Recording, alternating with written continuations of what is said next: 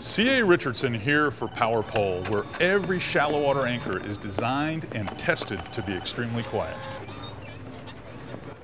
How quiet? Let's take a look. Hey guys.